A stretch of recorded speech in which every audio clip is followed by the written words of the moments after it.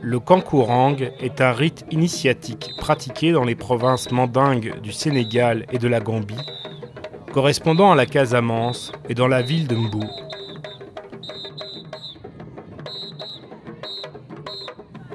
Ce rituel, qui s'est étendu à d'autres communautés et groupes de la région, est l'occasion pour les jeunes circoncis d'apprendre les règles de comportement qui garantissent la cohésion du groupe, les secrets des plantes et de leurs vertus médicinales ou des techniques de chasse.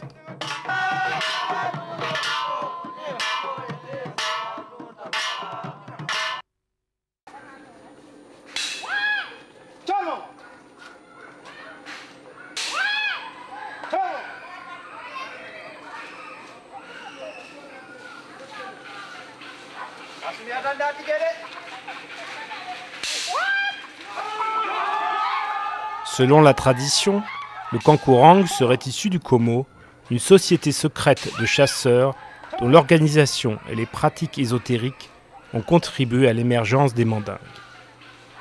Le Kankourang est à la fois le garant de l'ordre et de la justice et l'exorciste des mauvais esprits.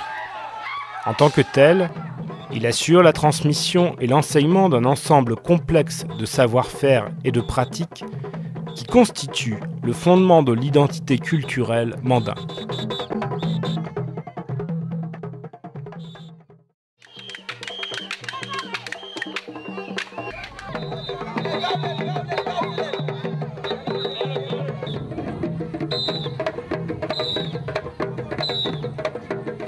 Le personnage central du Kankourang est un initié qui porte un masque fait d'écorce et de fibres rouges d'un arbre appelé phare.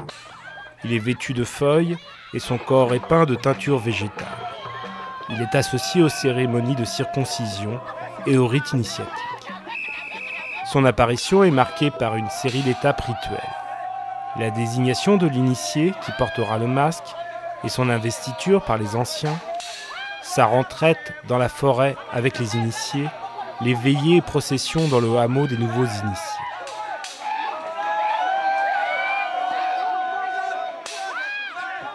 Ces rites ont généralement lieu entre les mois d'août et de septembre. Le Kankourang parade toujours entouré d'anciens initiés et de villageois qui suivent avec respect ses faits et gestes et l'accompagnent de leurs chants et danses. Ces apparitions sont ponctuées d'une danse saccadée qu'il exécute en maniant deux coupes-coupes et en poussant des cris stridents. Ses suivants, armés de bâtons et de feuilles de rognier, marquent la cadence de leurs refrains et tam-tam.